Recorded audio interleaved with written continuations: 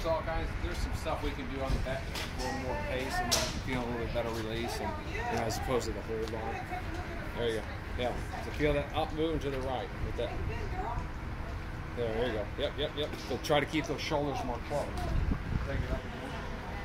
So what she's going to feel when she's up here, that everything's going this way. So as you're doing here, this way, see if your hip is actually still there, your shoulders are still closed. So now,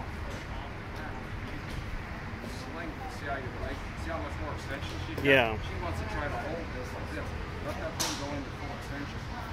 Yeah, it's gonna it's a different feel than what you're. Yeah, she can start slinging that golf ball. I mean, the thing: she's got a lot more tapped into it. Okay, so if you watch me, I can sit here. You watch me. Okay, so I can go there, here, there. See, I'm up here like this. As that change of direction is going, bam. See, I'm here.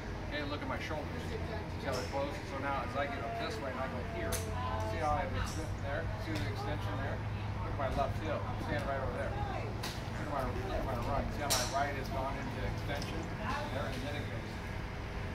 Like that. Look at my heel. Heel leg. See there? You watch back a little like that. See how my foot is? Yep. And you'll start, she'll start coding that stuff. So